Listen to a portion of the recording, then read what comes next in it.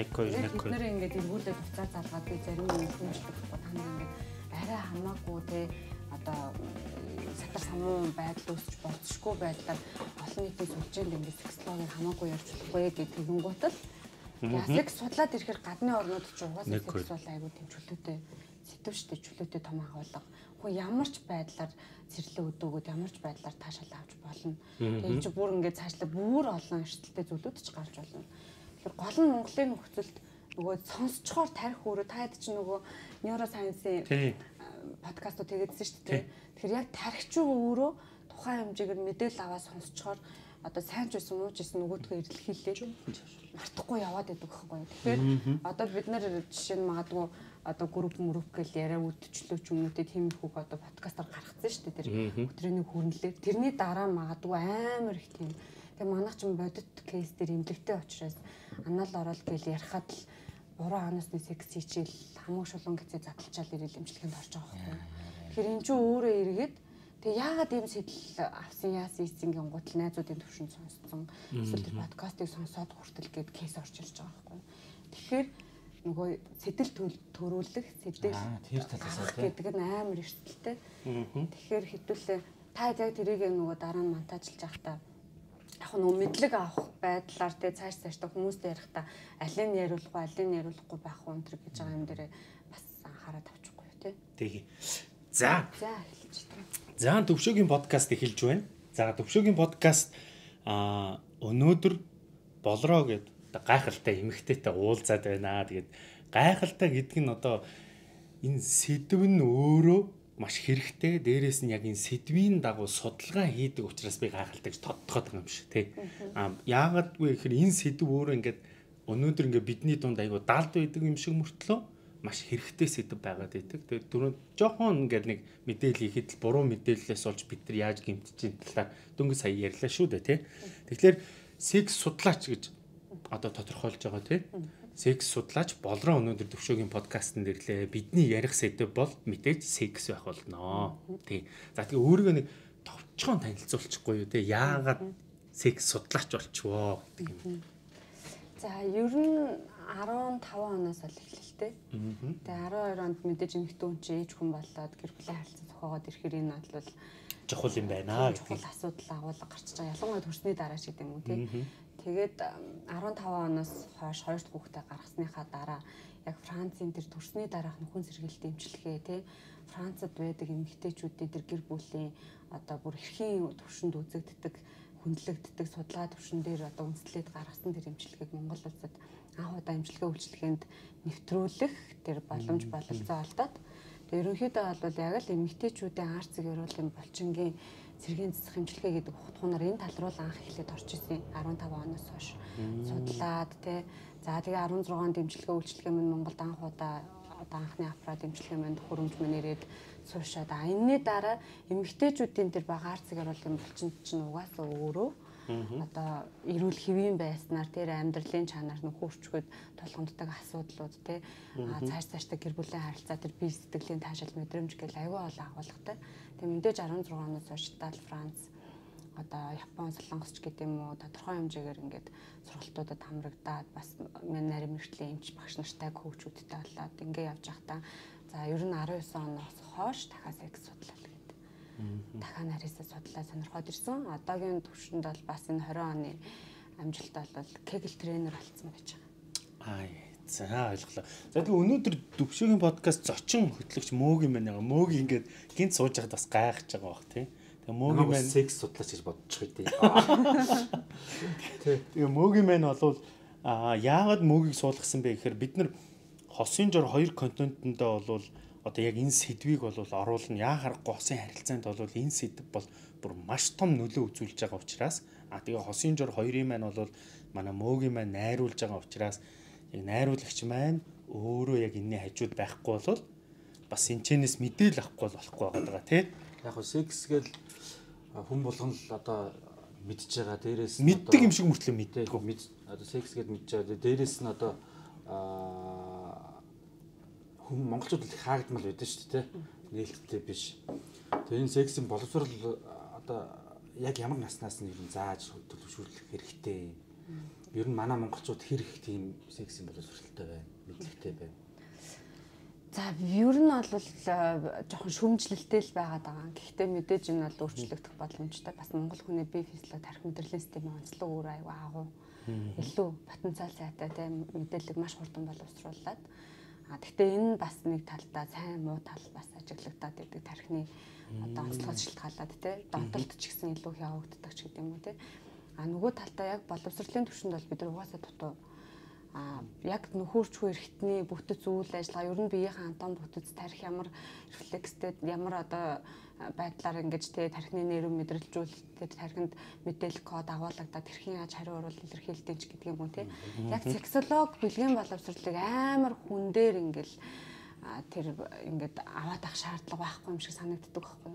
Зүгээр л мэдрэмж бид нар агаан шатны мэдрэхүүн эрхтнүүдэд төгс ажиллуулж тэндээс мэдрэмж авч чадахгүй л яваад байгаа байхгүй. Яг харааны мэдрэмжээр төгс зүйлийг гой харж дүгнж чадахгүй тэгээ чихээрээ гой зүйлийг сонсоод буцаага тэрийгэ би физиологдоо одоо байж чадахгүй. Тэгээ амтлах мэдрэмж нь ямар байгаа лээ? Хүрлцэх мэдрэмж ямар байгаа лээ?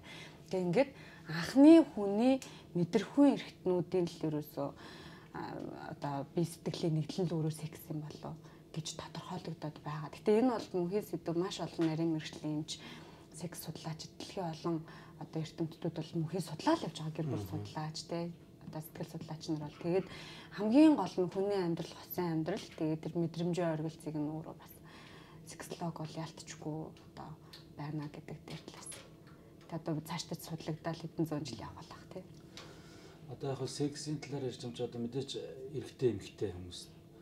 Одоо эмэгтэйчүүд нь одоо яадаг штэ а секс дээр бол одоо эмэгтэйчүүд нь одоо илүү мэдл эрэгтэй эмэгтэй хоёулаа мэдлэгтэй байх хэрэгтэй те. Ер нь одоо ингээд алдаа ч юм уу аль нь илүү одоо тэр нэг секс дээр анхаарал тавьж танаа одоо эмнэлэг эмнэлэг үйлчлүүлээд те бэлгийн яг харилцааны хувьд яг сексийн харилцааны хувьд ингээд бодоод үзэхээр нэг хүний зүйл биш байхгүй юу? Хосын заавал хамтрагч. Тэгээ заавал хосын гэж нэгдэл байгаад идэг. А тэгэн гут л нэгдүгürt өөрсдийнхөө мэдрэмжийг бүрэн дүүрэн төгс олж чадаагүй. А тэгээ бас яг тэр хамтрагч ханыхаа ч юм уу те ихнэр нөхрийнхөө мэдрэмжийг бас бүрэн олж чадаагүй. Тэгэхээр энэ мэдрэмжэн дээр ярихаар дахиад би физиологийн онцлог аягүй хөндөгдөө гараад ирдэг. Тэгэхээр яг тэр одоо эрэгтэй хүн жишээ нь хэд эмэгтэй хүний бие физиологийг бүрэн дүүрэн мэдхтэй. Энэ байдал бидний монголчуудад амар дутуу санагдаад байгаа. Юу н ажиглагдаад байгаа судалгаан дээр ч гэсэн тий эмэгтэй хүний одоо мэдрэмж нь хаана байдیں۔ эмэгтэй хүний бие физиологийн бүтцэн нь ямар байдгийг тий адаглаад бид нар одоо шээс задгаарлал гэдэг зүгээр нөхөрчгүй өвчлөл рүү ороод ирэхээр л одоо юу ч амарч мэдлэг байхгүй. Ингэдэй юм уу тэгдэм үү баг зарим эмэгтэйчүүд чинь тэр төрөв булчгаа төмсгөн хаана идэж гэдгийг баг чай хатар мэддэггүй тэр даавруудаа мэддэггүй ч гэдэг юм те. Одоо зөвөр би яг зөв сонирхож байна л да. Аа одоо манай онгой байдсан шүү дээ. Тэгээ одоо порно кино үзчихсэн тий Өш бид нар ч гурилдсан байна уу гэдэг шиг тий. Ер нь бол одоо секс ус урлаг тал руу юм ч юм уу тий. Бид нар өөрснөөс гоё мэдрэмжөө хөгжүүлж тэрийг судалж байсан гэж хийх хэрэгтэй болов уу би боддог асуудал. Тийм тийм.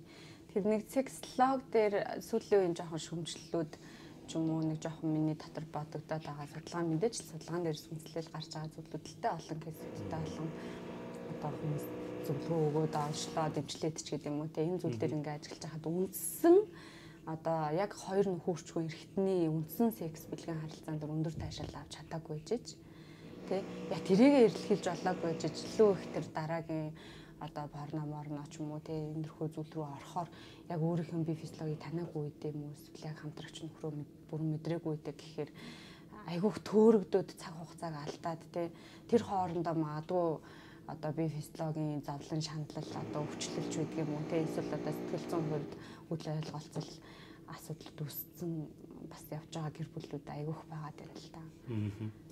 Сая нөгөө ярианаас нэг юм аягүй сайн ойлгож авлаа.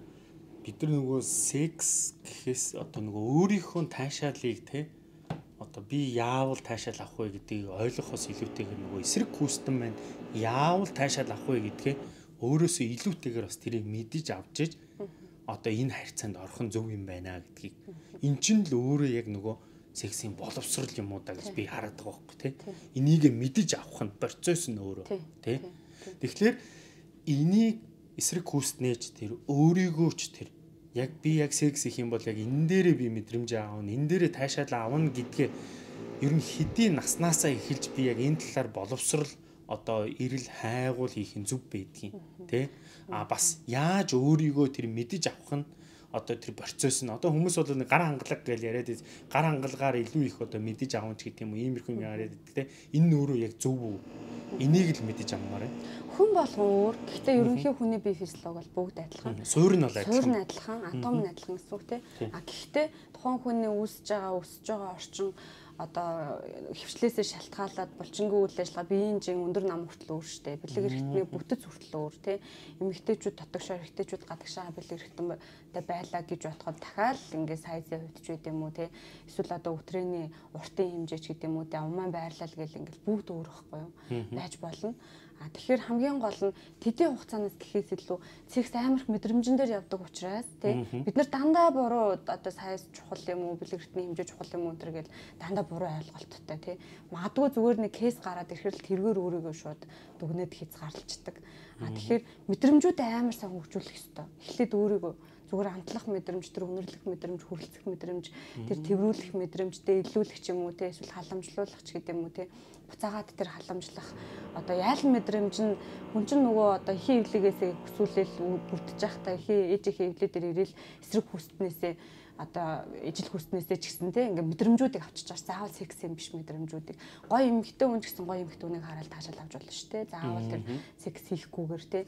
А тэгэхээр тэрнтэй яг адилхан бид нар мэдрэмжүүдээ за дахиад дээрэс нь яг тэр хамгийн анхны бэлгийн харилцаа амар чухал гэдэг. Ер нь анхны мэдрэмжүүд өөр аюул чухал байхгүй? Анх ээждээ эрхлүүлсэн мэдрэмж ч үт юм уу тий анх одоо эрэгтэй хүнийг өөрөөр харж байгаа. Ер нь ингээд бүр бага наснаас нь эхлээд ингээд хүүхдүүдийг ажиглах юм бол эмэгтэй хүүхд ааваараа эрэгтэй хүнийг төсөөлдөг, эрэгтэй хүүхд ээжээр эмэгтэй хүнийг төсөөлдөг. Тэр ээж нь хэрхэн яаж бие гоё сайхан авч авч те аав нь хэрхэн охиноо тэрвэрч үнсэж хайрлаж исэн гэдгээс эхлээл нөгөө эсрэг хүснээс авах мэдрэмж нь тогтоод ирдэг. Тэгээд яг тэр хоёр нөгөө бидний яриад байгаа секс гээд нөгөө бэлэг эрхтний одоо шүргэлцэн тий одоо яг тэр хоёр бэлэг эрхтний тэр секс дээр ороод ирэхээр анхны харилцаа юм шүү дээ. Тэгэхээр тэр анхны харилцаан дээр маш ач холбогдол өгнө. Тэгэхээр бас нэг юм судалгаа ажиглагдаад байгаа л да. Монголд нөгөө анхны харилцааг ерөөсөө ач холбогдол өгдөггүй тий.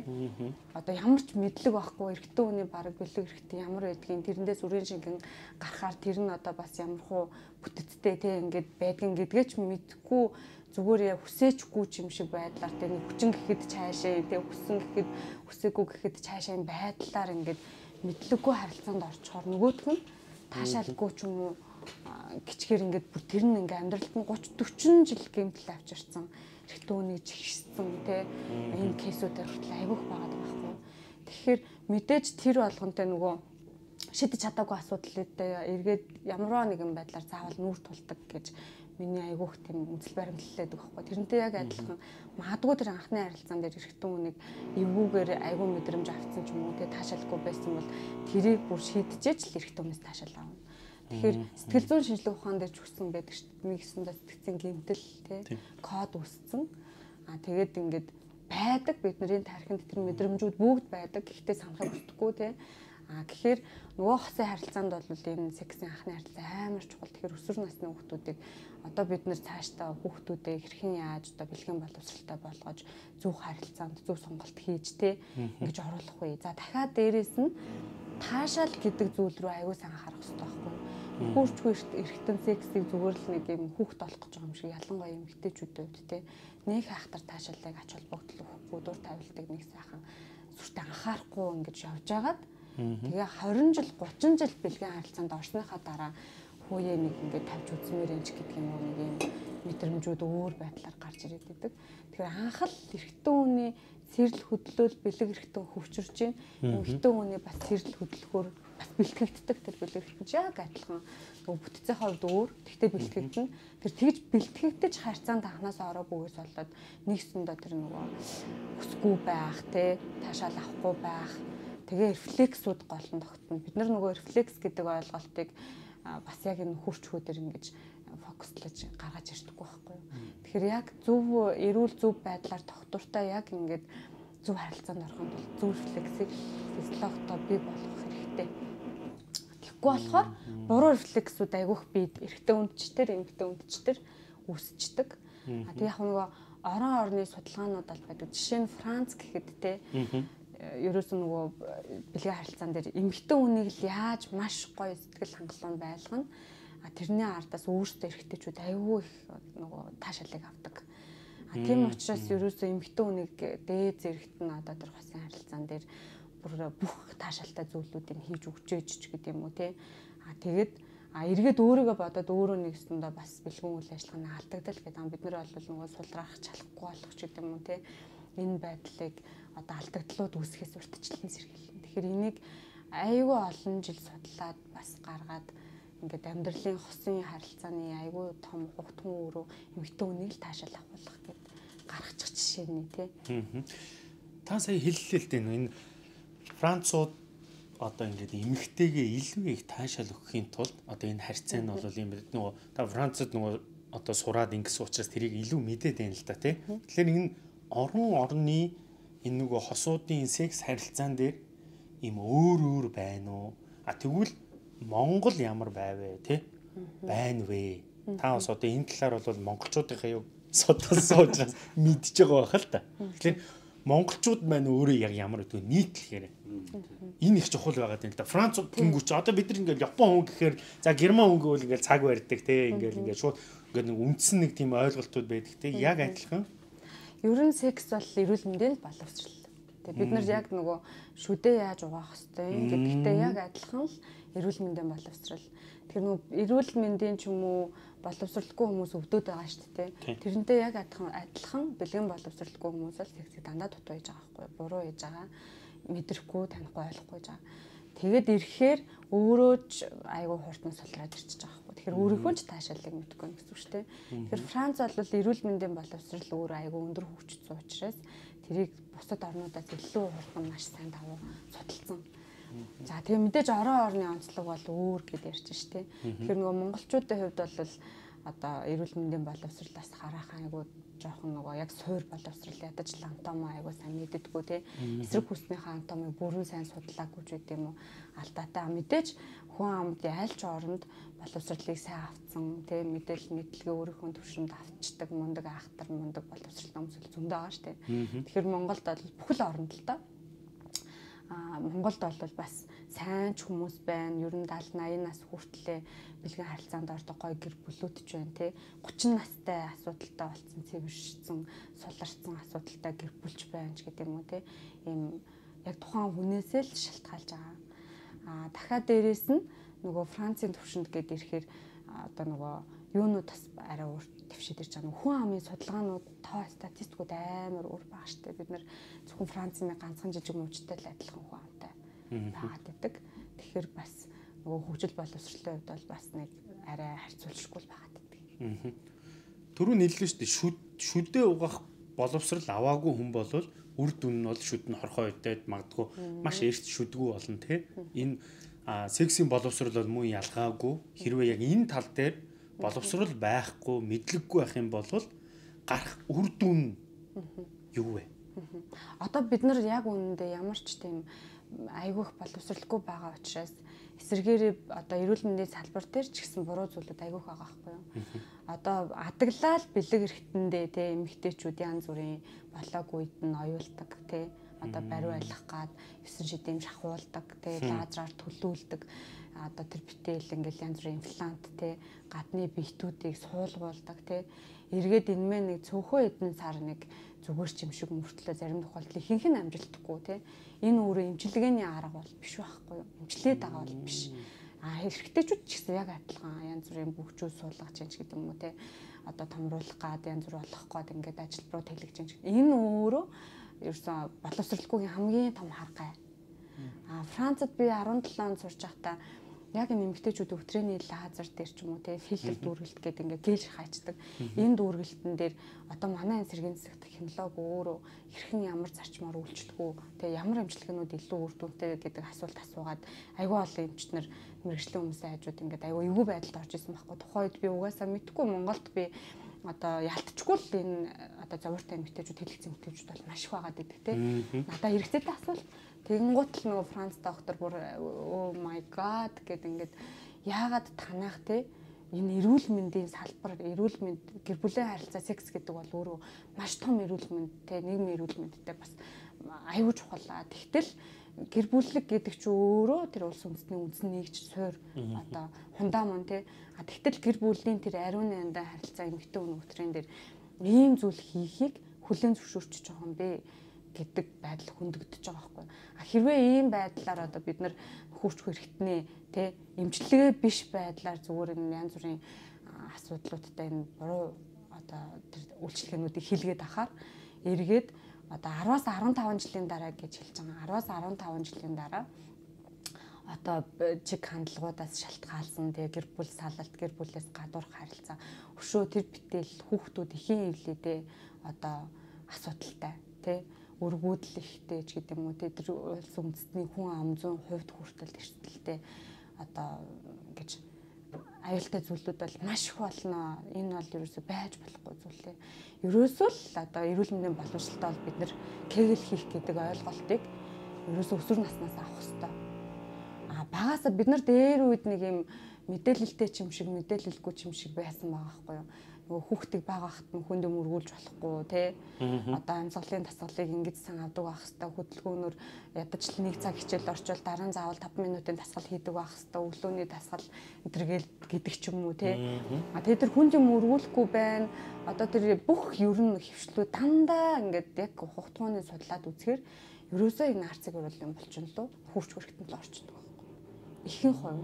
Тэгээ гадны орнууд ч гэсэн нойлыг хүртэл стандартчилдаг энэ саналыг хүртэл стандарт тавиад өгч байгаа байхгүй юу. Энэ дээр ингээд нэг цаг ч юм уу цагаас илүү сууснаар бид нар тэр хурц хөрхтөнд л буруу ачаатал өгдөг юм байна. Энэ л асуудалтай болт юм. Ингээд л ирэхээр тэр сексэст ч таашаалахгүй тий. Ялгаруулах систем тэр өтгөн шигнээ гадагшлуулахад хүртэл асуудал үүснэ. Энэ нь өөрөө хүний амьдралын чанар тэр аз жаргал дараа дараагийн бүх юмтай асар их хамааралтай. Тэгэхээр бид нар тэр буруу үйлчлэгээнүүдийг л асар их аваад одоо ч энэ ингээд халагдахгүй солигдохгүй тэрийг ингээд үйлчлүүлэгчид очиж сонгож аваад хийлгээд байна гэдэг маань л одоо асуудалтай боловсруулахгүй байна. Эрсдэлтэй л гэсэн үг л дээ. Аа одоо л манайхад ч яг нэг одоо бэлэг хэрэгтнээ том болгохгүй бол тэг янз бүрийн одоо аргууд хэрэглээд нь шүү дээ. Одоо нэг талаараа эмгтэй хүнээ одоо баярлуулах гэдэг нэг эсвэл өөрийгөө баярлуулах гэдэг нэг би бас ойлгодог байхгүй. Ер нь бол яг ингээд аль яг аль алиндаа л байгаа те өөрөө ч бас нэг гоё том эрхтэнтэй бол нөгөөт бисгүүд гэсэн гоё кайф авах. Тийм бодол одоо бол энэ бол сексийн боловсрол мэдлэггүйгээс ийм хийж яана гэж шүү дээ. А мэдлэгтэй болчихвол тэр ямар ч хийх шаардлагагүй. Шаардлагагүй. Тэрийг одоо ямар ямар аргаар одоо яаж тэр том болгох ч юм уу. Одоо дахиад дээрээс нь нөгөө эрүүл физиолог таашаал авдаг. Тэ? Энд буруу зүйл хийгээд ирэхээр тэр угаасаа мэдрэмж нь багасаад ирдэг. Одоо сүүлд би 19 оны 11 сард Итали руу яваад эрэгтэйчүүдийн бэлгүүн үйл ажиллагааны алдаг талаар сураад ирж байгаа байхгүй. Тэгээ Италид очичоо тэр Роми мундаг том факультетийн доктор профессороос мэдээлэл аваад сургалт аваад байж хахад тэ нөгөө хөвч таслахыг хүртэл хориглож байгаа байхгүй? Италид болиулж байгаа буцаагаад яагаад вэ гэхээр яг энэ цаанаасаа байглаас заяасан физиологийг ямар нэгэн байдлаар гадны биед оруулаад эвдээд байна гэдэг бол тий а магадгүй тэр ингээл ариун цэвэр мэвэр гэл ингээл аюу ол юмуд хөндөгдөөл нэг хэсэг дэлхийд даяараа хийжсэн шүү дээ. Одоо буцаагаад дэлхий болиулчаад ир чинь тэр битэл хүний бие рүү зүгээр хатгах хүртэл болиулж байгаа зүггүй яаж тарих уу гэдэг технологиг нэвтрүүлж эхэлж штэ. Тэр энийг эвдэнэ гэдэг нь эрүүл биеийг л эвдээд байна. Би ямар нэгэн байдлаар эвдэгдэх юм бол нөгөө таашаалаа авч чадахгүй тий эргээд эсрэгээрээ гэдэг юм харагдаад байгаа. Зүгээр яг биеийнхээ хувьд за дахиад дээрэс нь дараагийнх нь нөгөө бидний нөгөө том бариу гэдэг юм ойлголт амар буруу зүйлэхгүй.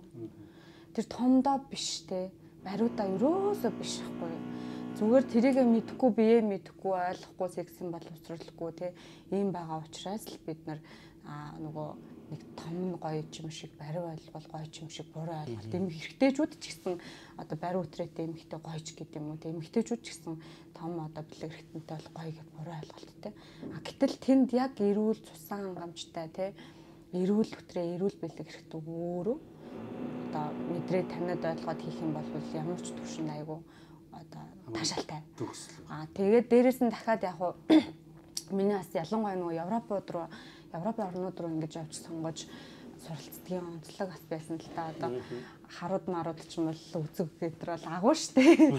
Тэгээ өгцгөө чирээд мэрэд энтер гэдэг үгэнд байдаг штэ. Тэгээ тэгээ бодохоор ингээ нөгөө тухайн хүний яг булчингийн бүтцүүд биеийн онцлогууд байгаа ч гэсэн тухайн нөгөө яг тэр одоо бэлэрхтний сайз ч гэдэг юм уу, тренийн сайз гэдэг юм уу юм онцлогуд бол байна л та. Ялтчгүй зарим орны одоо Итали метал ч юм уу тий Европ орнуудын залуучуудын сайз нь том тий. А тэрийгээ дагаад эмэгтэйчүүд нь айгүй өндөр өтрийн айгүй урт байх жишээний байж байгаа байхгүй тэр өгзөрүү ар хүүхрээр үгээ арай илүү зайтай ч юм уу тий. Тэгэхээр бид нар Монгол хүмүүс л юм чинь заавал тэр гадны орнуудыг дуурайж том болгох гээд ч юм уу тий ерөөсө шаардлагагүй энэ чинь нөгөө бие биедээ зохицсон л физиологи таахгүй эрэгтэй эмэгтэй хүмүүс хоорондоо а дахиад яг хөө мэдээж нөгөө тухайн хүний тэр яг тэр хөвч хэрэгтэнтэй хамааралтай зохицол тэр цогцох зүйлүүд бол байна. Тэгэхээр ихэнх тохиолдолд бид нар ч гэсэн бас тэгддэг шүү дээ. Ер нь ханаа сонгохдоо тэг үрхэж явж байгаа л бас гоё мэдрэмж аваад сонголтууд хийдэг. Одоо сүүлийн үед бол бас энэ айгүй нээлттэй болсон. Дээр үед бол бүр юу ч мэдэхгүй л баг нөгөө анхны харилцаан дээр л шууд л хүүхдтэй болоод суучдаг байсан юм шүү байгаа. А тэгтээ бас тэр нөгөө цогцолтолгоо анханасаа одоо бас мэдэрчүүл айгүй зүгээр цааш цааш та асуудлыг ядчил айгүй сайн зохицуулдаг болчин ойлгодог болчин ч юм уу тий ярилцдаг болчин ч гэдэг.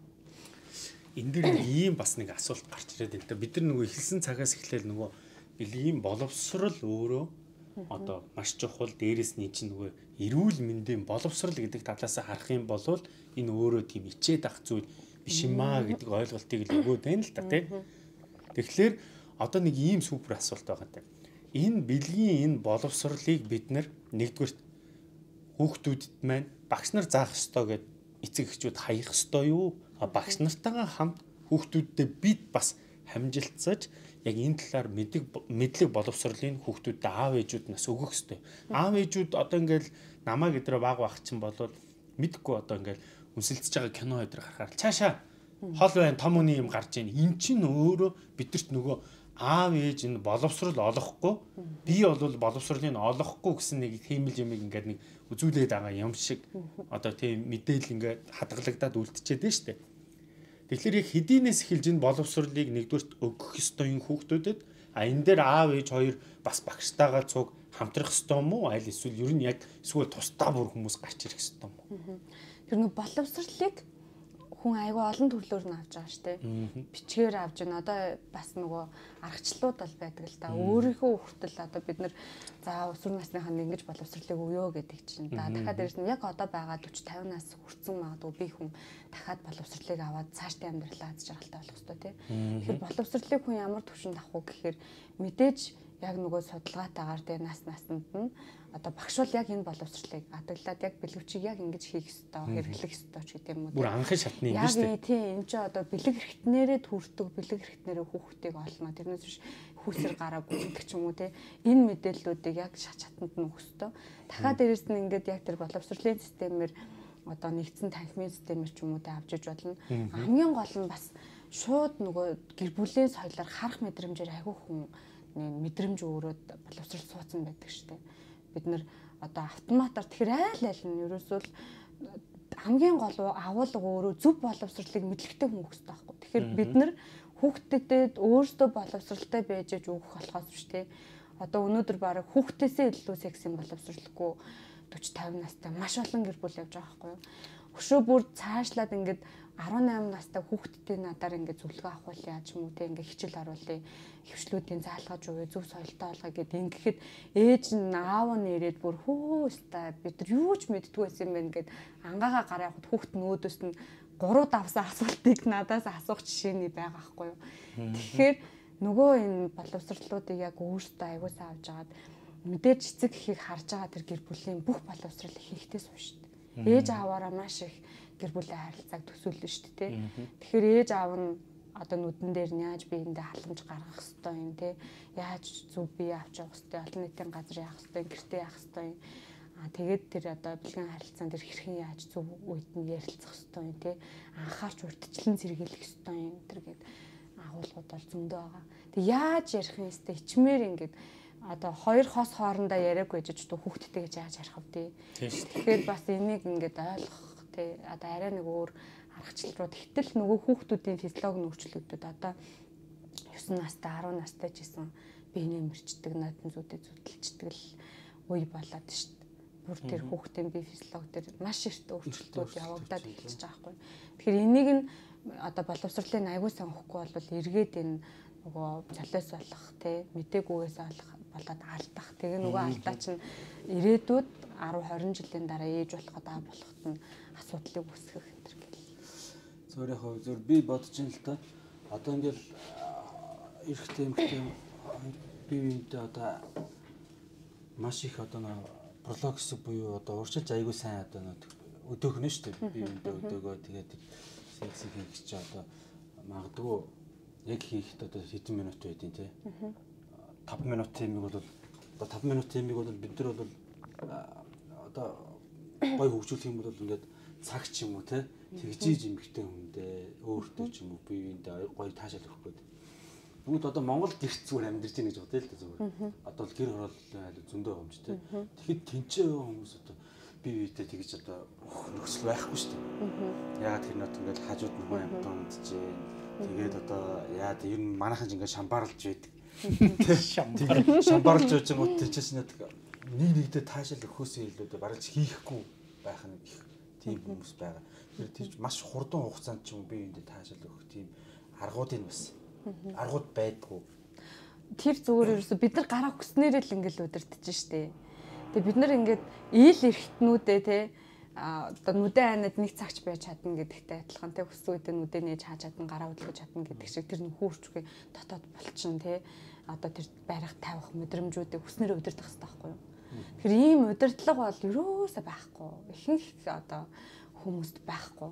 Хүссэн үедээ дур тавьж чаддаг, хүссэн үедээ барьж чаддаг тий.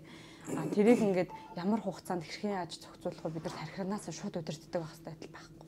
Энийг сурахын тулд л айгүй чухал зүйл нь нөгөө кегл хийгээд байгаа байхгүй юу. Энэ дээр яг нөгөө кегл хийдэг болсноор те кегл хийж чадсанаар кеглийг зөв хийж сурснаар яг бүх удирдлагыг гарт авдаг эргэжтэй байсан эмгтэй байсан өссөн үедээ дур тавьж чаддаг өссөн үедээ биед одоо зохицуулж чаддаг өссөн үедээ буцаагаад тавихгүйгээр барьж чаддаг ч гэдэг тийм. Тэрнийгээ ч ойлгохгүй. Кегл дасгал гээд ирэхээр эргэжтэйчүүд кегл хийдэг гэдгийг ч мэдэхгүй явчихдаг шүү дээ. Харин наадах ч л яг юм тий мэдэхгүй л байна л да юм тий. Тий эргэжтэй кегл гэхээр кегл бид нар нөгөө суурь нь одоо тэгэхээр нөгөө антомоо мартцсан байна тий. Харин тийм. Антом заавал бид нар одоо юу гэдэг чинь эмчнэр антом мэдэх шаардлагатай биш байхгүй юу? Тэгэхээр хүн болгон хэл сурж байгаа те яг адилхан хүн болгон антом ямар ч гэсэн маш сайн мэддэг ах хэрэгтэй. Тэгэхээр тэр арцэг ёроолын булчин манайх бүр 16-нд одоо арцэг ёроолын булчингийн сэргээн засах эмчилгээг мөдөл бүр хинж ойлгоогүй. Юу ч хийх гээд байгаа ч гэдэг булчин арцэг ёроолын булчин гэж нэг ахтар мэдхгүй те нийт мас. А тэгээд өтрээний булчингийн гутал амар ингээд мэдээлэлтэй чимшиг шавчж байгаа байхгүй юу мэдээлэл авъя мэдээлэл авъя гэл те. А гэтэл Арцгийн булчин гэдэг чинь өөрөө тэр одоо хөвлийн үндэд байдаг үтрийг бүрэн зохицуулж идэг те гүний булчинч гэдэг юм. Өшөө кегэл тасгал гэдэг чинь арцгийн булчингийн тасгал болохоос ш өтрийний тасгал биш байхгүй. Тэгэхээр манайхан ерөөсөө нөгөө кегэл тасгалыг өтрийний тасгал гэж бодоод идэг. А тэгээд ирэхээр нөгөө төрөлт мөрлөлтөнд ч ерөөсөө өтрий чухал гэдэг буруу ойлголт бол тавхангаалаа да. Гэтэл тэр одоо яаж ч төрсөн байсан те тэр дээр нь өөр булчин байгаа шүү гэдгийг ингээл Антомчин сэргээдээд ирэхэд бодож байгаа.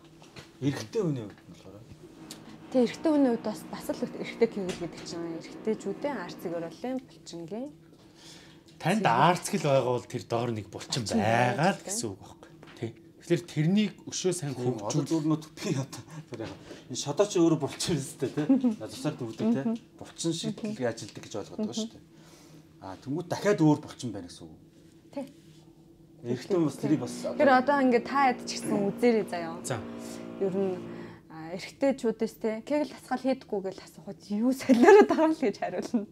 Тийм шүү дээ. Наа чи эмэгтэй хүн л тасгал шүү дээ. Юу яриад байгаа л гэж хариулна. Тэгэхэд Одоо зүгээр л бид нэр гуглээс те кегл гээл хайхад л ир юмгүй хийдэг бүх техникүүд хэдэн зуун гар ингээ мэдээлэл гараад ирэхэд тэрийгээ ч мэдэхгүй сууж байгаа байхгүй. Ингээ нэг ийм байна л та. Нэгдүгürt бид амар бүдүүлэг байгаад байгаа. Тий. Энийг бол амар сан ойлгож авлаа. Одоо тэгэхээр энийг одоо сонсож байгаа эмэгтэйчүүд ч тэр ирчүүд ч тэр тий. За тэр тусмаа бид нар яг эрэхтэй кегл дасгал дээр хэрвээ хийхгүй бол ямар үр дүн гарах юм? Энийг хэлээд өгч. Тийм бол бид нэр хийвэл ямар үр дүн гарах юм? Бид нар мэдэж аваад одоо энийг чинь Google дээр YouTube-ээс хараад судлах одоо болж ирэх гэдэг шүү дээ тийм. Гөвч аваач юм тийм. Гэдэг шүү. Одоо энэ Kegel дээр ингэж байгаа яг бид нар чинь гайхалтай арт юм л те. Ер нь би бас тэгж боддээ. Ер нь Европод явж хахад жишээ нь тэгэхэд бүр вайны соёлоор Италид те хэрвээ ингээд амар гоё тулгааж харц руугаа харж ингэж тулахгүй болвол те та 7 хоног дур тавихгүй шүү. Тэр бол ингээд дээд зэрэглийг хараад заяа. Бүр тийм төвшөнд зүгээр сексийн соёл нь байгаа байхгүй юу тэр хүмүүсийн хувьд те. А гэтэл бид нар 7 хоног битэл 7 жил явсан ч бүр ингээд ихний ээлжинд ялангуяа эмэгтэй бол асуудалгүй аюу олон жил харьцаанд орохгүйгээр те асуудалгүй явж чадна. А энэ дээр ингээд кегел гэдэг тасгал тэр мэдрэмж булчин сэргээж чадсанаар одоо тэр нөхөрчгүй эрэхтэн ялгаруулах систем бид нар өтгөн шигнээ гадагшлуулахад амар чухал. А тэр процесс алдагдсан шүү дээ. Нэгсэндээ бид нар шээс зад гарал те түлэлттэй шээхшээс хаагдах цагаан хэрэгч гэдэг юм уу те ингээд зовоорууд асуудлууд нөгөө нэг яриад байдаг үтрэний булчин эсвэл бэлгэрхтний хүчрүүлгээд бүгд тэр кегэл булчинтай маш их хамааралтай зүг тахгүй. Шууд утгаараа хамааралтай. Аа тэгээд тэр доголдоод ирчлээ шүү өвчлөл ирчлээ ингээд бүр одоо дамсаг хийгээд ч байсан хамаагүй энийгээ л бид нар хүүхдээсээ аз жаргал авчаад гоё үг сонсоод амьдрал юм хүүхдлээ амьдрч бол чадна. Одоо мэдрэмж аваагүй ч юм уу тэнийг хайхтар ач холбогдол өгөхгүй эмгтээчүүд аа яг хөө мэдээж хүндэрсэн нөхцөл мессеж хэлбэрээ арга гэдэг Монголд юу нэг яг хүүхчгэнд авсан юм амжилтыг бүх техник практик нь ерөөсөө анаахан багш нар дандаа мессийн аргаар имжлэг. Мессийн бус аргаар яг тэр кегел дасгалаар имжлэгтэй сэргийн засгаар имжлэг. Ерөөсөө анхны судалгааны ажил анхны имжлэгийг манайх оруулж ирснээрээ нөгөө ингээд туршилт судалгаатай яваад байгаа байхгүй юу. А тэгэхээр эрэгтэй хүн эсрэгээр өөр. За бид нар өтгөн шигнээ гадагшлуулахгүй хэд хонж чадах вэ? хоол идэж уухгүй тий таашаалтай тэр одоо өснээр шингэнэ ууж чадахгүй мэдээж гадагшлуулж чадахгүй байгаа учраас энийг уухтаа хязгаарлалчихж байгаа байхгүй хүн автоматар. Тэгээ тэгэхээр ийм байдлаар хүн хідэн цаг амьд явж чадах уу тий а тэрийг ингээд гадагшлуулахдаа тариа тариулаад бясалгал хийгээл булчин суллах юм уугаал тариа тариулаад ингэж бөө юм болж иж нэг шийдэг болчих юм бол хүн амьдралдаа ямар юунаас кайф аваад тий яаж хэрхэн аз жаргалтай чанартай нөгөө амьдрал гэдэг шүү дээ. Аз жаргалтай амьдралыг ингэж бид нар мэдрэх үү гэдэг амар том асуудал хөндөгдөж байгаа байхгүй. Тэгэхээр энэ давсаг одоо ер нь эрэгтэй эмэгтэйчүүдийн давсагны үйл ажиллагаатай тэр өтгөн шиг нэг гадагшлуулах үйл ажиллагаатай өвчлөл амьдралын чанарыг бууруулдаг эхний 10 хүчинд дэлхийн эрүүл мэндийн байгууллагаас жилийн жил байсараад байгаа. Тэгээ энэ нь бол ингээд дэлхийн бүх хүмүүсийн асуудал ахгүй юу? Энэ асуудлал даваалдчих юм бол хүн өдөрт дунджаар 7-оос 12 удаа өтгөн шигнээ гадагшлуулдаг юм байна те ямар нэгэн байдлаар дунджаар тэгэхэд жилд сард гэхээр энийг гадагшлуулж бол амар асуудалтай. Тэгэхэд эмэгтэйчүүд ихэнхдээ нөгөө алдаад тэрийг дороос нь ямар нэгэн аргаар одоо тэр юугаар те дамсгарч юм уу те энэ одоо ариун цэврийн хэрэглэр шийдэ явдаг бол эрэгтэйчүүд гадагшлуулж чадахгүй байх юм бол тэгэл амар хүнд асуудал ирчихэж байгаа юм. А тэгвэл одоо ингээд тэр булчин сулраад ирэх юм бол нөгөө найтайхад одоо ингээд шээс тусчдаг ч юм уу тий а одоо жишээ нөгөө бэлэг эрэхт нь босч чадхаа болдог ч юм уу тий тийм муу үр дагаврууд бол гарч ирэх нь шүү дээ. Гарч ирнэ ихэнхдээ нөгөө бэлэг эрэхтнийхаа бүтцээр эмэгтэйчүүд алддаг бол эмэгтэйчүүд хундаг байхгүй юу? гадагшлуулж чадахгүй гацдаг гэсэн үг тэнцээ. Аа, ирчүүд нь ирчүүд нь гарсан. А тэгээд ирэхээр эрэгтэй хүнд даа ялангуяа нөгөө кегл маш чухал байдаг. Ер нь айгүй чухал. Явж явж. Явж явж. Тэгэхээр эрэгтэйчүүд бүр илүү их кеглэр хичээлэх хэрэгтэй. Тэгээд ер нь аль аль нь маш сайн. Ойлголт байхгүй ч асууж. Кегл дасгал гэдэг нь одоо энэ фитнес шиг хийдэг юм уу те? Яаж хийдэг ер нь дасгал? өнөөдрөөс эхлээ хийгээл хэлчмээр байдаг. Энэ кейлийг хийгээгүй гэхдээ хүмүүс ирүүл яваад амьдраад болоод шүү дээ. Ямар ч өвчлөлгүй хүмүүсээс зүүнд байгаа шүү дээ. Кейл мэглээ мэдээчгүй. Тэгэхээр та хоёр юу гэж бодож байна? Хийж байгаа ажилтай холбоотой байна уу? Шүү би өөрөө хийгээд идэв юм билээ. Аа нөгөө л нөгөө секс секс ч юм уу те. Аа нөгөө секс нь зөв харилцаатай байгаа учраас заавал тэр дасгалыг хийгээд ах шаардлагагүй тэр нь эрүүл байгаад байгаа юм биш үү? Тийм учраас одоо секс чинь маш олон одоо Хэмжлэгийн болоод яваад байна. тий маш олон зүйл хэрэгцээд ш бидний нөхөрчгүй эргэтнүүд те. Мэдээж нөхөрчгүйгээ бодохоор дахиад үр хүүхэдтэй хамааралтай өвчлөлүүд, асуудлууд бүгд хөндөгдчихнэ. Тэр өвдөөд ирнэ гэдэг мэн одоо өргүүдлийн шинж тэмдгүүд бол энэ өвчлөлтөөр айгүйх гарч ирж байгаа штэ. Тэгэхээр өргүүдэлтэй байна гэдэг маань эргээл гэр бүлийн халуундт нь аз жаргалтай амьдрал бүгднгийн одоо чанаргүй болгочихно тий. Тэгэхээр ерөөсөө бэлгийн харилцааг анхны тэр бэлгийн боловсралтай байгаад зөв эрүүл бэлгийн харилцаанд орсноор цаашид бүр бүх насны аз жаргалтай амьдрах үүслийн ингээд хуурийн суур одоо голомтын тавиад өгчих жоохгүй ундамын тавиад өгчих. Тийм байна тийм. Ер нь секс их хийхэн сайн байна уу? Тэгээд бас Гэхдээ их хийх чинь бас Амар их дотроо бас ойлголт нь юм байгаа шүү. Замбраагүй их хийх маш олон хавдагчтай ч юм уу. А нэг хүнтэйгээ их хийх ч юм уу тий. хийвэл Энэ хоёр чинь бас ялгаатай байгаа даа тий. тийм ээ тэгэл Тэр энэний ялгааг нь та нэг хэлээч. Одоо бид нар өдөрт нэг хүн физиологоор тэ 7-оос 12 удаа одоо шисээ өдөхнөө гадагшлуулж ин гэж үзэж штт те. А тэгэн гутал тухайн хүний нөгөө одоо дасгны үйл ажиллагаач гэдэг юм уу те ууж байгаа шингэнтэй хамааралтай бүр багаас нь бид нар хүүхэд ямар байна гэдгээс тэр дундаж тоо гараад ирчих чинь. А өвдөөд ирэхээр тэр ингээд савлаад ихтэй багтаад те ингээд явчих чинь. А гэтэл нөгөө ямарваа нэгэн байдлаар би физиолог рефлекс тогтно. Бэлгийн харилцаанд одоо ямарваа нэгэн байдлаар нөгөө рефлекс дээр одоо тогтмол хийдэг энэ зүйлүүдийг хамаагүй ингэж тоглолтуулж болтгоо гэдэг агуулга айгүй чухал байхгүй юу? Нэг сар амар итгэвтэй байснаа нэг сар ерөөсөө огт хийхгүй ч үгүй юм уу те. Эсвэл нэг жил ингээл байж яснаа ихнэр нөхөртэй байснаа салаад огт хийхгүй ч үгүй юм уу те. Энэ өөрөө өвчлөлийн айгүй суурин гэж үзээд байдаг юм. Рефлекс. А тэгэхээр ер нь яг одоо юу гэдэг чинь нөгөө тухайн гэр бүлийн соёлтой анх одоо гэр бүл болоод хэрхэн яаж хийж исэн те энэ тэрийг аль болох ингээл баланслуулаад одоо 7 хоногт 2-оос 3 удаа хамгийн багтаа барьдаг ч юм уу те а тэгтээ мэдээж тэр өөрөө сексийн харилцаа чинь тэр нөхөрч хөрөгтөнд маш их булчингүй үйл ажиллагааг ингэж тасгалжуулж өгч идэг учраас багсгаж бол угаасаа болохгүй хэтэрхийх багсгаж болохгүй гэсэн үг.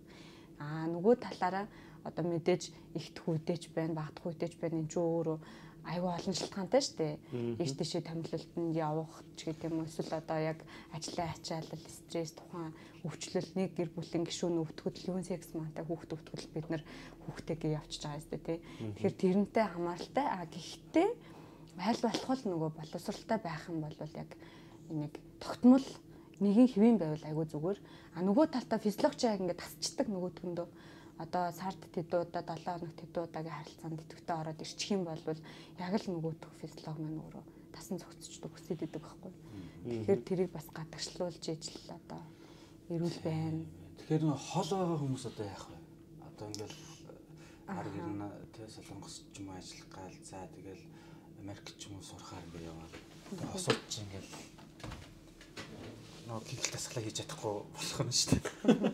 Тэгэхээр энийг л нөгөө зохицуулаад тэр сексийн шинжлэх ухаан ч өөрөө хөгжөөд байгаа байхгүй. Янз бүрийн тэр одоо тооюуд гардаг ч гэдэм үү те. Эсвэл одоо сексийн тэр төрлүүд гарч ирдэг ч гэдэм үү те. Өөрөө өөрийгөө мэдрэмжийг сайжруулах, өөрийгөө гоё таашаалах болох ч гэдэм үү. Энээс үүдэлтэй гарч ирээд байгаа яг одоо хамтрагч байхгүй үед те нөхөр ихнэр хажууд байхгүй тэрхэн яах вэ гэдэг.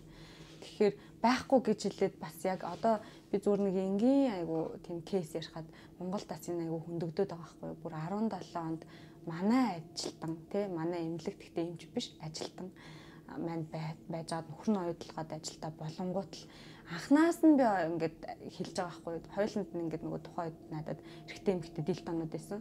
Тэгээд бид нар бол өөртөө манлайлах хэрэгтэй, өөртөө хамт олноороо эрүүл ич хүнд тэр мэ эрүүл мэндийн боловсролыг өгнө, өөртөө эрүүл, өөртөө гэр бүлийн харилцаат одоо элэг бүтэн байж ич гэдэг юм тий.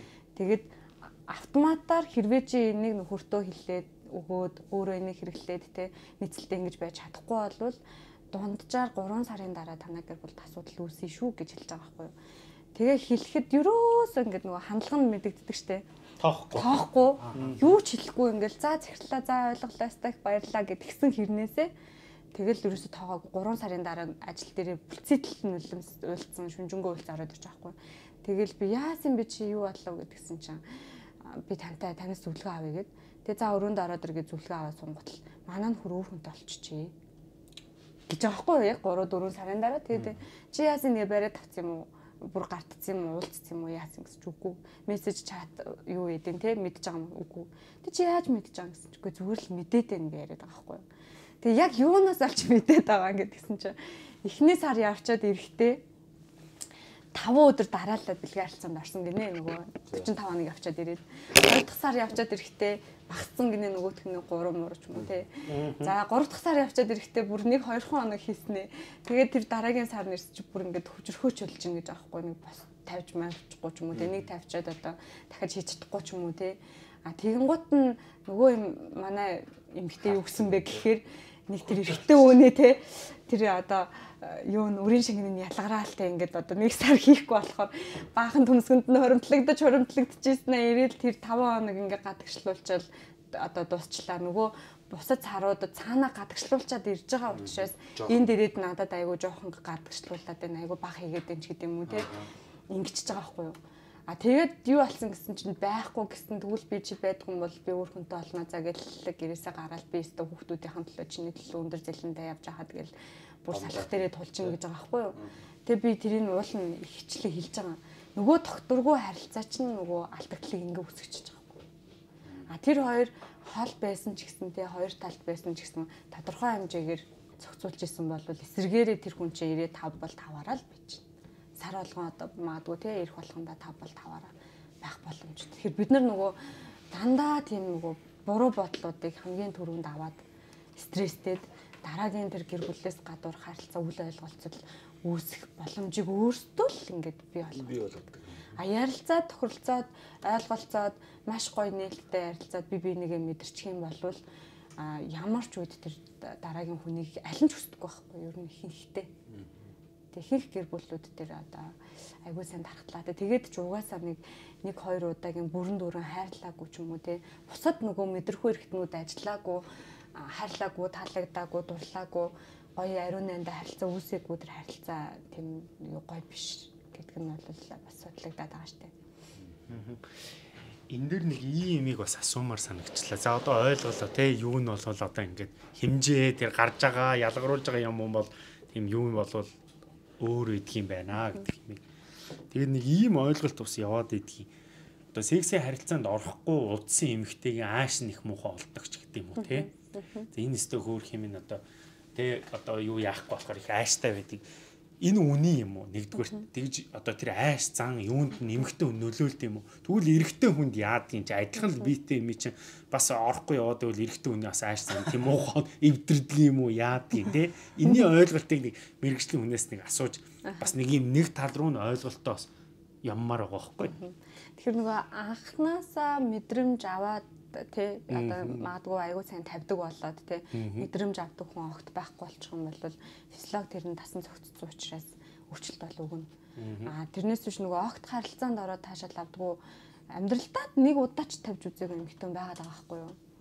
А тэгэхээр тийм хүний хувьд бол секс хийхгүй байснаар нэг өөрчлөлт бол гарахгүй болно.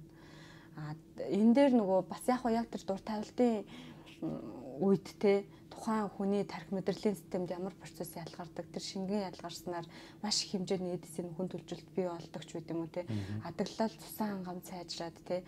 Гэд ингээ айгүй олон одоо эерэг талууд бол угаасаа зөнд байгаа штэ тэрийг би физиолог бэлгийн харилцаанд орсноор ингээ ялгаруулад ирсэн байхгүй юу?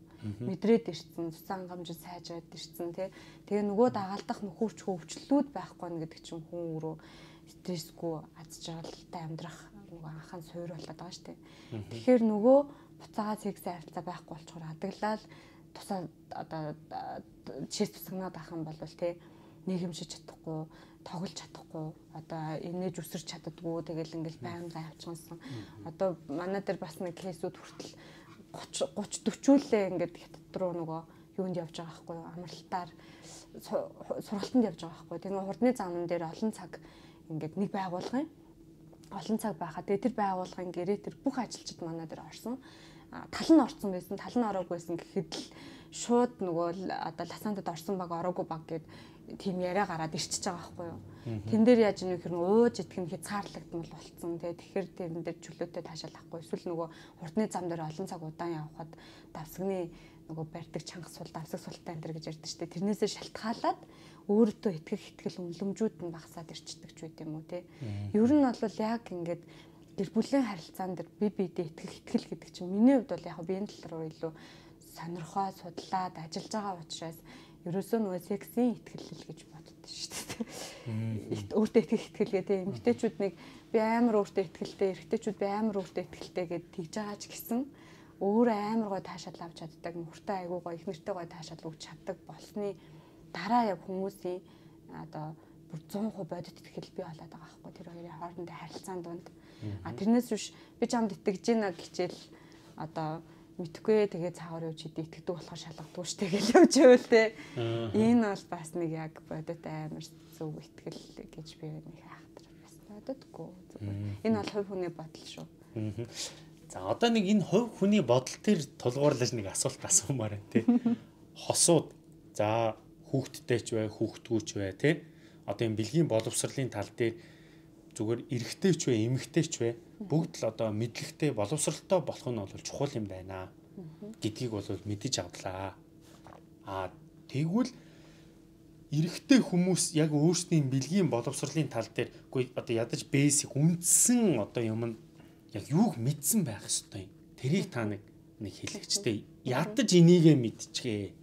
Тэг хийм болвол ядаж тоо хоёрын хосын харилцаан дээр те а эмгтэйгийн ч тэр одоо энэ нь илүү их одоо тэг цаашаа ад жаргалтай болно. Эмэгтэй нь ядаж энийг мэдчих юм бол тоо хоёрын хосын харилцаа. Манайхан чи ингээд намаа гомдоочлаа тэгчлээ ингэслээ л гэдэг боловч гол үндсэн суурийн юмн дээр бол нэх мэдэхгүй яваад байдаг тийм.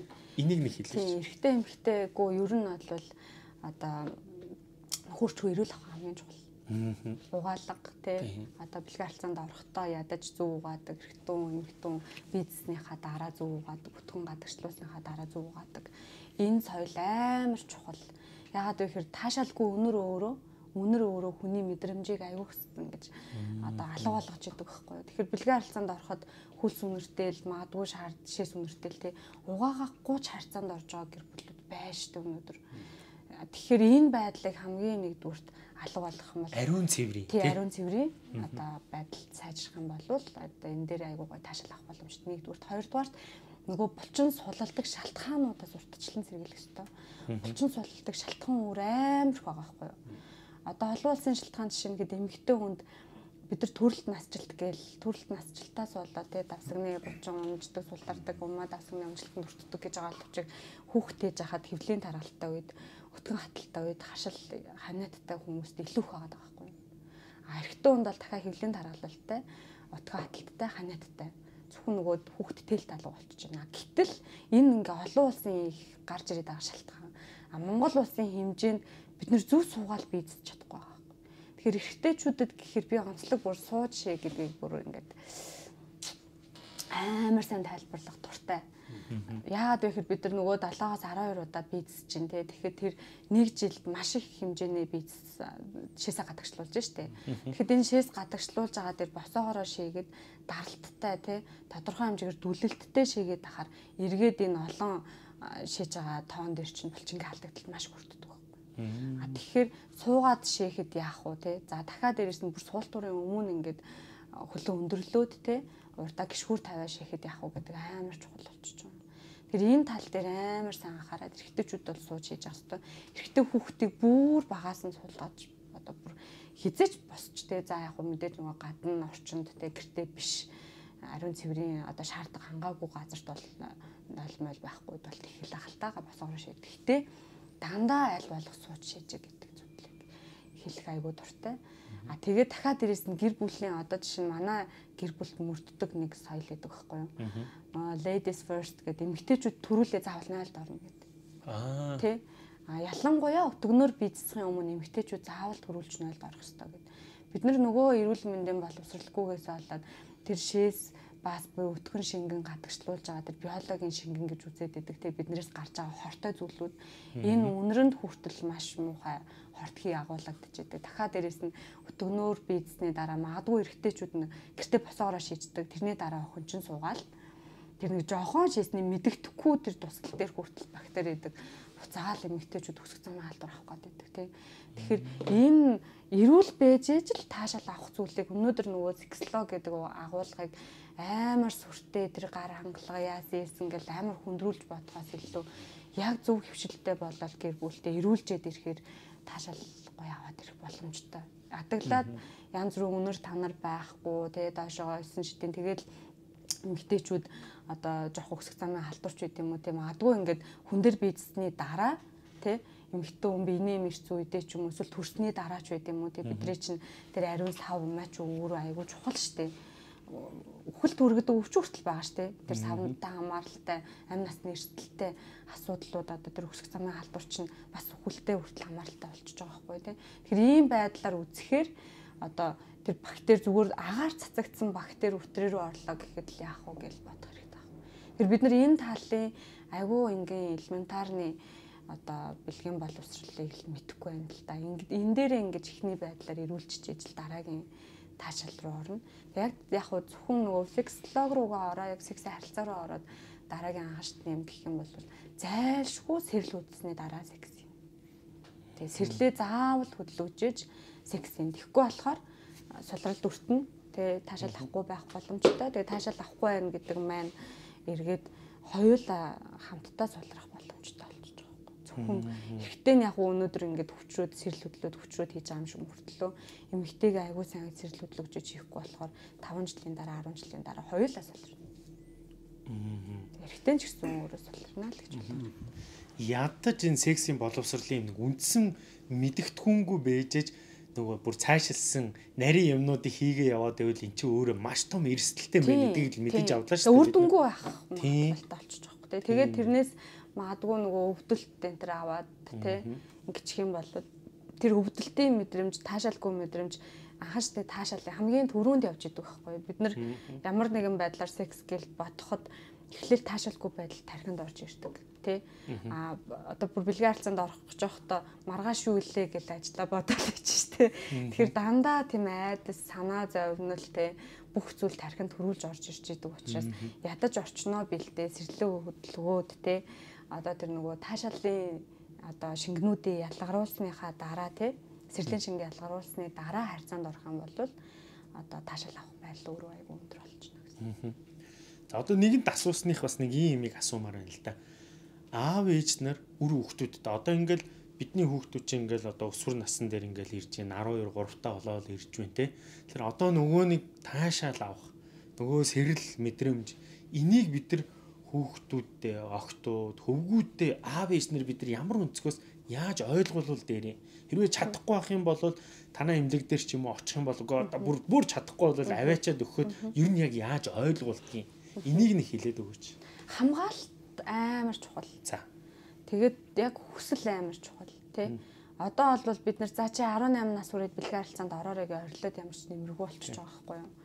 Тэгээд алин эзэний одоо тийж авж байгаа бид нар бол нөгөө огт өдөрлөг энтергээ хийжсэн л та туршлагатай. Mm -hmm Тэгээд э, одоо 100 охтын өдрлөг гэл ээж охтын болцоо энэ гэл хийж хахад те. Ээжүүдийн тусад нь авч ууцаа охтуудын тусад нь авч ууцаа хооронд нь тусад нь хичээл зөвлөгөөнүүд ороод ярилцлагууд хийгээд за тэрний дараа бүр эмнэлэг дээр ирээд ингээд ганцаарчлсан сургалтууд авч байгаа байхгүй юу. Тэгээд ирэхээр магадгүй эмч үзлэг хийгээд шууд мэдэн дээ тий. Ээж нь бол хизээж охиноо бэлгийн харилцаанд орсон гэж бодог байхад охин алей эзэний орсон байх жишээ нэ тий. Тэгээд тэрийг мэдээд ээжүүд юу хамгийн түрүүнд уурлахал болоод идэг. Ойлгохоо бодохгүй. Тэгэхээр нөгөө хамгаалах хүсэх гэдэг одоо мэдрэмжийг тархинд нь амар сайн суулгах хэрэгтэй. Ер нь бол бүх зүйлээс шүү дээ бэлгийн харилцаанд ороод жирэмснээс хамгаалах, бэлгийн замын өвчнөөс хамгаалах тийм. Тэгэхээр бэлгэвчийг хэрхэн яаж хэрэглэх үү тийм ямар хүнтэй одоо орох уу тийм хизээ орох уу. За тэгээ мэдээж ямар ч үе сэтгэл зүйн бэлтгэлтэй одоо өсвөр насны хүүхдүүдтэй эцэгчүүд бол орцсон ч байж болцсошгүй, хизээч орж болцсошгүй гэдэг сэтгэл зүйн бэлтгэлтэй одоо өөртөө сэтгэл зүгээ бэлтчих хэрэгтэй юм шиг байна эцэгчүүд. Тэгээд тэр хамгаалтыг сайн зааж өгөх А хэрвээ ингээ хамгаалтгүй орсноос болоод ирээдүйн тэр аз жаргалтай амьдрал тэр хосын харилцаан дээр одоо анхны одоо бэлгийн харилцаанаас код авч ийн гэж штэ буруу мэдрэмжүүд авч ийн цаашдаа хайртай хүнтэйгээ уулзаад огт дуртай авахгүй таашаал авахгүй хүүхдгүү ингээд хохирж байгаа гэр бүлүүд штэ тэрийг ингээд аягүй сайн ойлгуулах хэрэгтэй. Тэр хүн ойлгочих юм бол нэг юу юугүй сонирхоод те өөрийгөө эрсдэлд оруулаад авахгүй штэ. Тэгэхээр мэдээж орой яваад болохгүй шүү. Дээрэмдүүлнэ гэж байгаатай яг адилхан бэлгэвч хэрэглэх ёстой. Яг одоо аль болох насанд хүрчээд орох ёстой ч гэдэг юм уу те хэрвээ насанд хүрээгүй үед ингээ орох юм бол ирээдүйд чи төрөхөд хэцүү тий төрөхөд хэцүү тий яг ингээ эмгтэн үнэ үнцэн юм тийм гэдэг ингээд гой өнцгөөс нээлттэй чөлөөтэй зүгээр зэдвэ гаргаж ирээ ярилцуул айгу зүгээр. Тэгээ яаж ярилцах уу гэдэг байхгүй юу? Ярих гад бас ярихгүй байна гэд. Тэгснээ ингээ багаас нь ярьж хэлээгүй ээжэж гиг гүнд 16 нас болсон хүүхдийг шууд чи надаа одоо яг яар гэл. Тэгээд бас шахтаа шахуулаа шавдуулаа тийм үү загнаад те хинтээ нэлж яаж юм гэд ингээ орлоод шүү дээ. Тэр нөгөө энэ дотны сэдв учраас нандин сэдв учраас хамгийн хитгэсэн үндэ л хүн хэлнэ. Тэгэхээр нөгөө мэдээллийг айгүй буруу эмчээс биш ээжээсээ аваасаа биш найзуудынхаа хүрээлэлээр авч шин. Тэгээд тэр сургалт хийгээд ингэсний дараа бид нар ганц нэг сайт дээр мэдээлэл бичиж харсан ч доотлолт нь амар олон охтууд ямар гоё юм бэ ийм сургалтанд авч явдаг ээжтэй гэдэг. Өөрөө адилхан л өөрт нь хайртай ээж нь байгаа штэ тий аав нь байгаа штэ. Гэсэн хэрнээсээ тэр сургалтанд авч очисон одоо хин нэгний ээжэд хатаарах жаахгүй хин нэгэнд тэр тий тийм ээжтэй охинд хатаархсан тийм комент амар байгаа юм. Тэгээд доотлолт нь багш нар бидний хизээч болохгүй, эцэгчүүд бидний хизээч болохгүй тий дандаа буруу одоо ингэж загнаж уурлаж ингэдэг гэд. Тэгэхээр нөгөө итгэлийн эхлээд олж авахгүйгээр яриад байдаг байхгүй. Тэгэхээр би тэгээ зарим тохиолдолд тэгдэ одоо яаж охинтойгоо ярих 15 6 настайгийн гутал. Өөр байдлаар эхлээ цагаа өнгөрөөгд тий тэгж жагаад дотоод юм руу гоё нэгтэр тэгтээ одоо тэрийг хүлээж авах сэтгэл зүйн хувьд бэлтгэлтэй тий ямар ч үед уурлаж загнахгүй тэр одоо өөрөө сэтгэл зүгөө бэлтчихэд тэгээд артаас нь арай өөр төвшөнд ярилцвал тэгээ мэдээч үнэхээр нөгөө харилцааны хувьд бол тохиромжтой биш бол дараагийн мэрэгжлийн үйл үе алдчихгүй чадахгүй байвал тий. Ер нь яг хэдийн наснаас нь эхлүүл дээр идэх юм. Заавал энэ сэдвэр бид нар 16 хүрсэн хойно ярих хэрэгтэй юм уу? Аль эсвэл одоо яг 4 5 настай. Эд бэлгийн боловсрол нь одоо яг боожол эд одоо сонирхоод байгаа тэр нэг 13 14 үеэс нь эхэлж энийг зүгээр нэг хэвийн үзэгдэл өнөөдөр нэг хоолны яриа ярьж байгаа юм шиг хэмжээнд ингээ ярих хэрэгтэй гэдэг юм уу тий. Эрэгтэй эмэгтэй хүүхдүүдийн хувьд яг тэр нь онцлог. Ялангуяа эмэгтэйчүүд бид нар төрж байгаа штэ тий. Тэгэхэд яг анхны төрөлтөн дээр мэдээлэл юус байхгүй. Төрөлтийн төлөвлөгөө байхгүй тий. Хизээ яаж хүүхдтэй их үү? Хүүхд тээж ахтаа яах вэ? Яаж төрүүлэх үү гэдгийг мэддэггүй. Тэрнээс болоод анхны төрөлтөн дээр айгүй харцангийн ажилбартаа урагдaltaа тий мэдээгүйгээс болоод эндэгдэл ихтэй асуудал ихтэй байгаа байхгүй. Тэгэхээр хүүхд төрүүлэхэд хүртэл ямар шаардлагатай гэдэг багаас нь л ярих хэрэгтэй. Энэ 3 настай охин чинь ирээдүйд ээж болно шүү дээ. Тэгэхээр тодорхой хэмжээгээр зөв бийц суулаа сургаад, зөв угаалгад сургаад тий. Ингээд ирэхээр ингээ яг нөгөө гэхдээ мэдээж хүүхдүүд чинь ямар сургууль сурч ийн хүрээлэл нь ямар байна те онцлог нь миний хүүхдээ онцлог ямар байна биеийн хөгжил нь ямар байна гэдгийг бас амар сайн анхаарахгүй а манай одоо найзын хүүхд 13 настай тэгсэн гэсэн чи 13 настай гэж нөгөө хин нэгэнтэй хүүхдийг харьцуулах тухайн хүүхдэд амар хүн дээр тусчдаг. Тэгэхээр бидний бас хамгийн том алдаа яг найзынхаа хүүхдтэй хүүхдэд харьцуулаад найзынхаа хүүхдтэй тэрийг ингээ хүүхдтэй хилээд ахаар хүүхдэд нь тэр ингээд аягүй муухай таашаалгүй муухай мэдрэмж ихтгэлгүй мэдрэмж төрөөд идэг. Стресс стресс өгөөд идэг.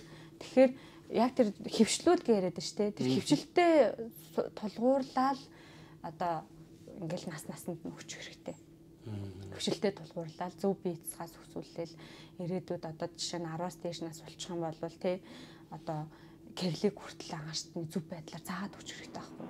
Огт сонсоогүй кегл гэдэг үгийг мэдгчгүй байсан учраас л бид нар кеглийг судлахгүй байгаа шүү дээ. Тэр хэрвээ ингээ багаас нь 10 11-ээс нь кегл дасгал хийх ёстой ч гэдэм үү те. Кегл дасгал гэдэг чинь энэ хөвлөд байдаг булчин хэлж байгаа маа. Тэгэхээр миний охин одоо 10 наснаас гүйлгээд те фитнесээр хичээллүүлээд одоо бие хамгаалах урлаг энэ төр гэл айгүйх явж штэ. Тэгээ энэ дээр бас нэг эрсдэл гарч ирээд байгаа. одоо ямар ч биеийн дасгал хөдөлгөөн те ямар ч спорт те энэгээр хичээлэлсэн эхлээ заавал кеглийн суурийг тавих хэрэгтэй байхгүй? А тэгэхгүй болохоор кеглийн суурийг тавьж өгөхгүй тэрний мэдээллийг өгөөгүй учраас эргээд кегл булчингаа дандаа эрсдэлд оруулаад одоо фитнес зэрэг хичээлэхдээ амьсгаагаад үлээл доошоо буруу булчингаас суллаад хичээлж ирснээр цагаан махан эргээд гэрте байх жишээ нэ те а зүгээр нөгөө нэг юм хөнгө яриад штэ хитэн зэрэг хичээлдэг залуучууд юм. Тийм. Тэр нэг маазарсан яриа тэр чи одоо босдгоо гэд яриад Тийм. тийм. Тийм. тий тэгэхээр тэр өдөр чи ерөөсөө амар буруу байхгүй юу? Буруу ойлголттой ойлголт. байхгүй тийм. Тэгээд дахиад дээрэс нэг бодит тийм физиологтой кейсүүд байж болцсошгүй байгаад байгаа байхгүй юу? Эмэгтэйчүүд дээр бид нар зөвхөн тулгуурлаа бодохоор одоо эмэгтэйчүүд дээр фитнес болон йог штэ жирэмсэн дээр ингээд үзэж байгаа. Жирэмсний йог хэрхэн аж хичээлэх вэ гэхээр жирэмсний йогоор маш сайн хичээлэлсэн зөв техникээр хичээлсэн ээжүүд аягүй сайн төрчдөг.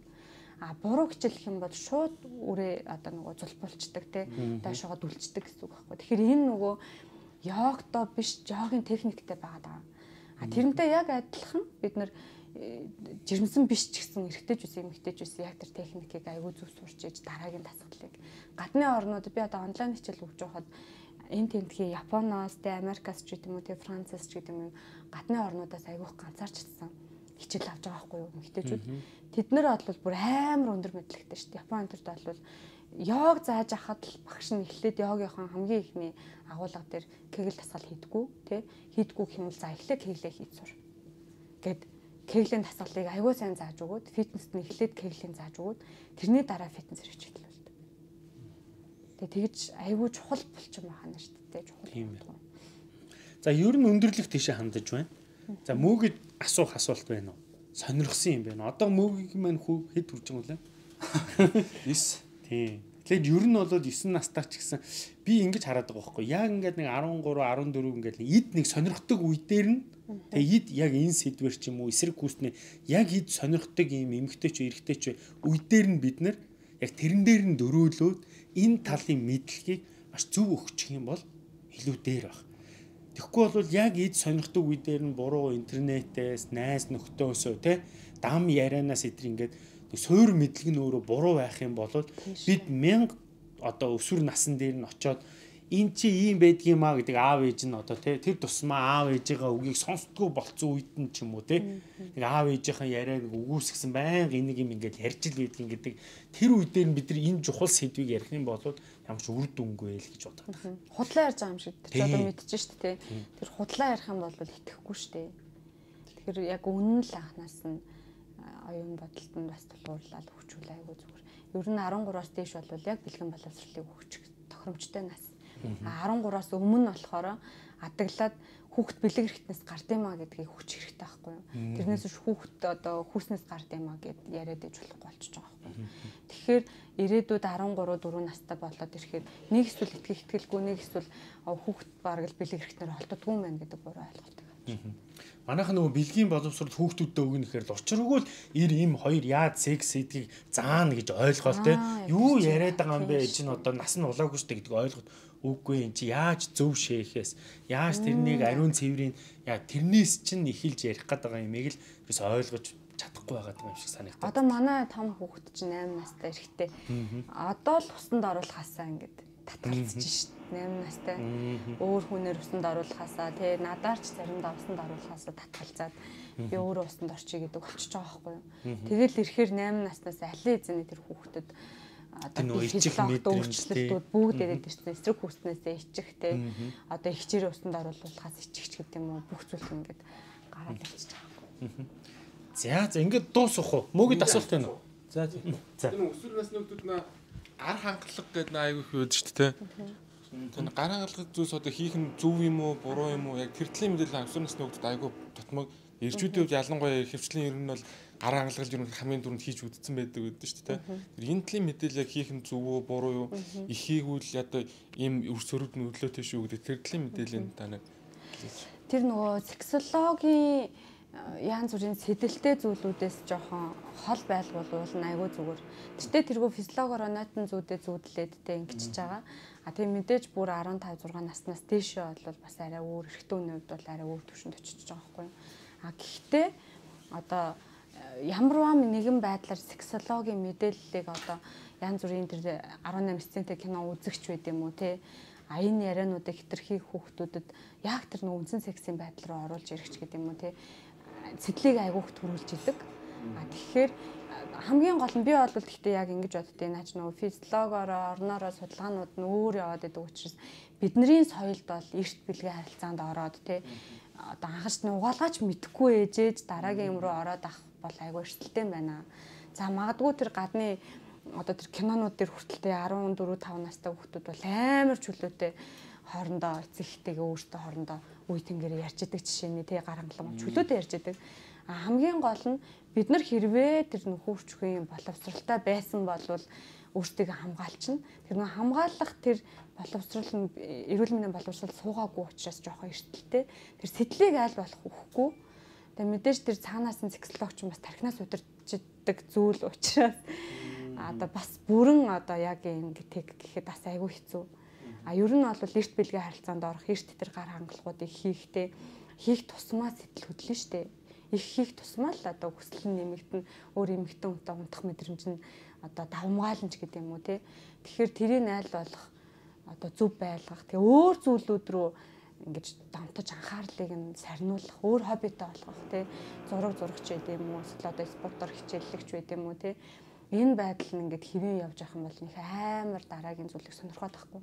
А дутагдaltaй байдлаар одоо тэрлүү их цаг зарцуулаад ач холбогдол өгөхгүй эцэгчүүд нь өөр чиглэл рүү тархинь хөгжүүлэхгүй те ингэх юм бол жоох эрсдэлтэй л байгаад идэг.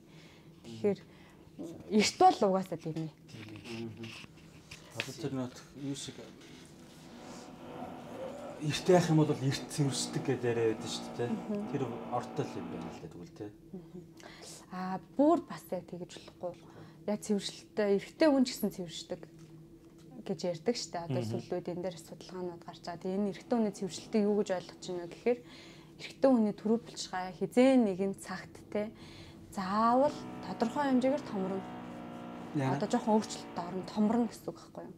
А энийг бүр томруулаад шохоожуулаад бүр одоо алдагдaltaй болоод асуудалтай болоод шисэн хагдаад үлдээх үү те зөв хөвшилтэй яг тэр тухайн үед зөв бэлгээ харилцааг хийдэг байснаар ялангуяа өглөө хөвчрөхөд харилцаанд ордог одоо 30-аас дээш насны ирчүүд аягүй чухал асуудал болчдөг байхгүй. Тэрс гадны орнуудад өглөөний хүчрэл байхгүй болоод өглөө харьцаанд орохгүй байна гэдэг эрэгтэйчүүдийн алдагдалт өртүүлэх одоо аягүй том юу гэ үзчихдэг.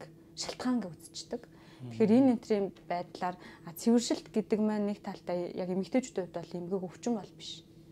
А цэвэршсэн ч гэсэн хүн таашаал авдгаараа аавна, тавдгаараа тавина аз жаргал гормоноо ялгаруулдгаараа ялгаруулна.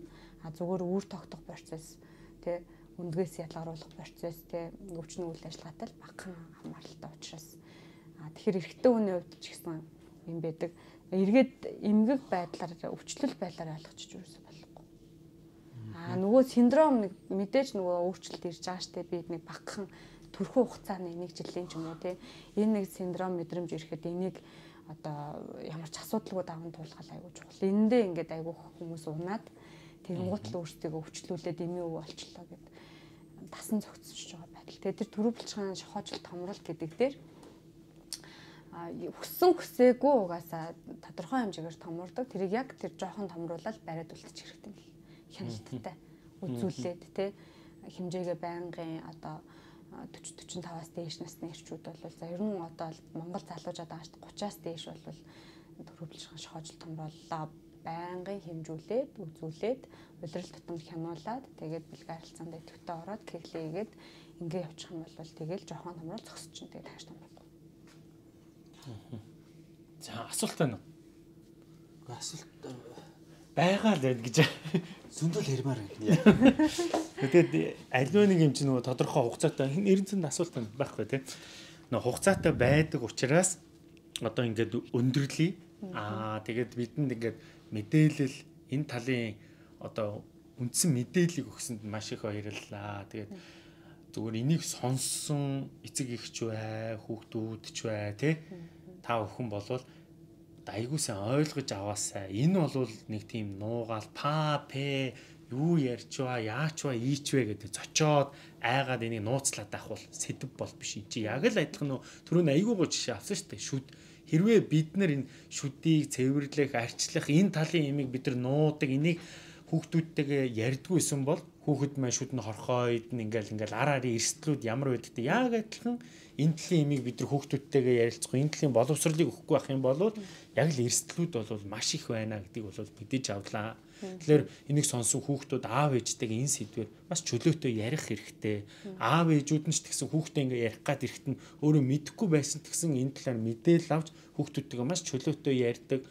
Аа дээрэс нь өөрсдөө яг энэ эрүүл мэндийн талаас боловсруулаасаа хүсээд энэ подкаста дуусгамаар байна. Тэгээ сүүлийн хормыг танд өгье. Та одоо залуучуудаа урайлаач гэдэг юм уу, хосуудаа урайлаач гэдэг юм уу те. Одоо хүн хийдэ зүрхээр амьдардаг ч хүний амьдралын зүрх нь арцэг яруулсан болчих юм аа. Би яг энэ үгийг 2 жил ажилласныхаа дараа яг миний толгойд орж ирсэн яг миний үг байхгүй юу? Тэгэхээр бид нар зүрхээр амьдраад байгаа зүрх зогсох юм бол амьдрал зогсно.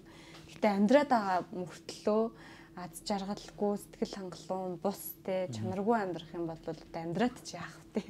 Завж амьдраад байвал те гой мэдрэмж тэрэн шиг амьдралын зүрх гэдэг юм нь одоо миний ажилтай онцлогтой судалгаатай онцлогтой одоо арцэг яруулын булчин юм. Тэр нэг арцгийн булчин дээр маш их ухтхан маш том ертөнц амьдралын чанарын ертөнц тэр чигтээ байж байгаа учраас арцэг яруулын булчингаа сайн судалж тасгалжуулаарай л хичлээ дөө. Тасгалаа хийгээрэй. Тэр кегэл тасгалаасаа хийгээрэй. Болроо тэрэ зүгээс. За ингээд дуусгая. Дараагийн подкастаар уулзъя баяр та. За. За.